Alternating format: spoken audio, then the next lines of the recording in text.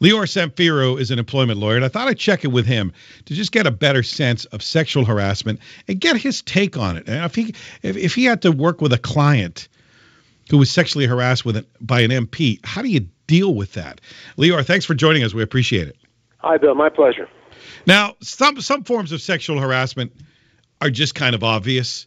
I'm the boss you come into my office, you're applying, or you work for me, you want a promotion, you want a raise, and I say, well, listen, maybe we go out to dinner, we spend the night together, maybe we'll spend a weekend away in a little motel somewhere. I think we could take care of things. That's clear sexual harassment. No one will dispute that as long as you can prove it. No, that's textbook uh, textbook sexual harassment bill, and and unfortunately happens uh, frequently, as I'm sure you understand. And uh, certainly in that case, an individual would have recourse. The problem, of course, always is proving what was said, but there's recourse under human rights legislation, uh, the recourse in the court, uh, and then you know that is exactly what one is not allowed to do, and the law couldn't be clearer with respect to those incidents. Obviously, what we're looking at right now in Ottawa is, is somewhat different. Well, let's take the next level of sexual harassment because you know that was the first definition I remember ever hearing. The boss in a position of power is using sex as is using his power as a weapon to get sex from you, and you don't want to have sex with the boss.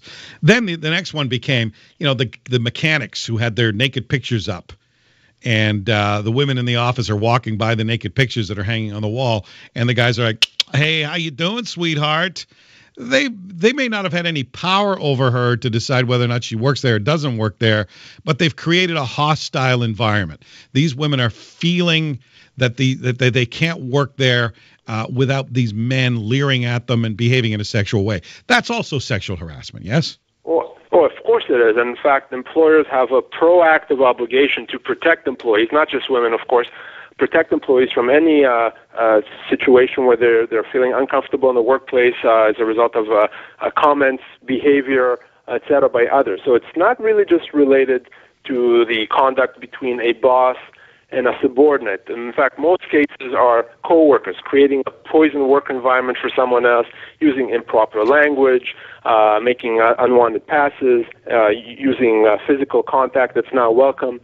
And the employer then has to protect the employee. And if the employer doesn't, the employer is actually on the hook for violations of the Human Rights Code.